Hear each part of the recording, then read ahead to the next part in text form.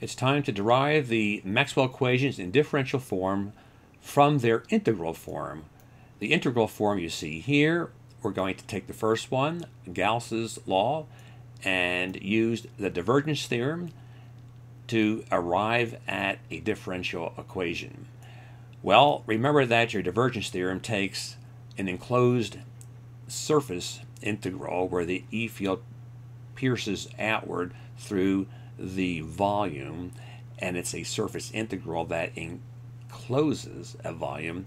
By this divergence theorem, we replace the areal integral with the divergence of the electric field and we integrate over the volume that we are enclosing by this surface integral.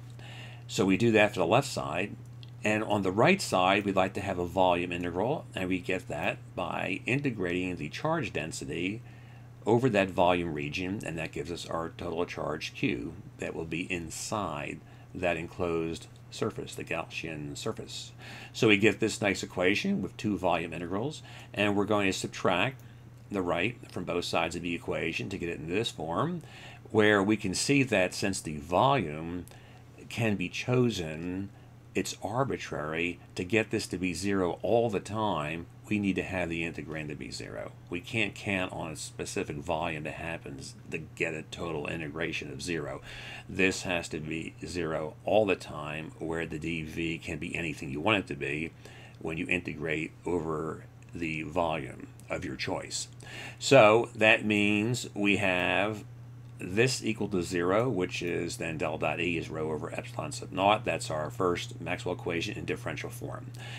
The second one is easy because we have just done one that's similar to it. Here we have a zero instead of the Q, so we'll get del dot B is equal to zero. For the third Maxwell equation, this one involves a contour integral around an enclosed loop, the Ampérian path, and we will use Stokes' theorem to replace that with a integral, integral that is given by the curl of the vector field dotted with that area. So we are promoting a contour one-dimensional integral to an area integral that involves the area that is bounded by that loop. This is not to be confused with a closed surface area like we did earlier where you enclose a volume. This is simply an area that is inside the perimeter or the contour of this loop. So when we do that, we see that we'd like to have areal integrations on the right side. Now the flux is natural for that. The flux is already written here as an areal integral. And at this point, the equations are telling us that it'd be nice to have a current density so that we can write the current as an areal integral and this j dot dA does the trick. We have encountered current density before in your earlier courses. You probably have seen that J. If you haven't, the mathematics here is indicating that we should have it because we would like to have this as some kind of aerial integral like the other two. So there's the J dot, dot dA to do that and if the j is constant and it's perpendicular to the uh, area that you're looking at then it's simply j times a. It's an easy way to kind of see what's going on. So when we do that we're all set. We have then the three areal integrations.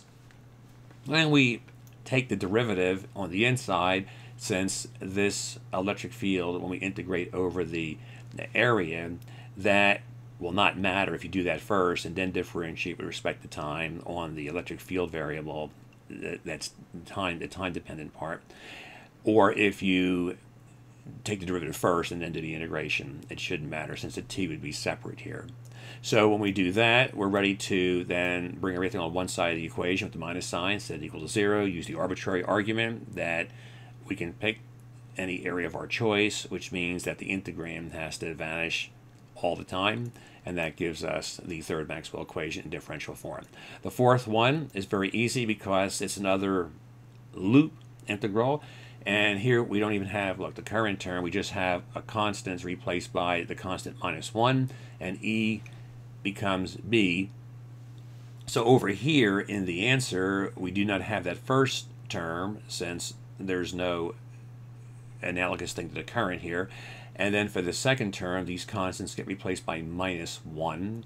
And since that's the electric flux here that gave us a derivative of the electric vector field, since we have the magnetic flux, we have the B, we take the derivative with the magnetic field, and we are finished. We have the Maxwell equations in the differential form, and in our next section, we'll gain more insight as to what these things mean.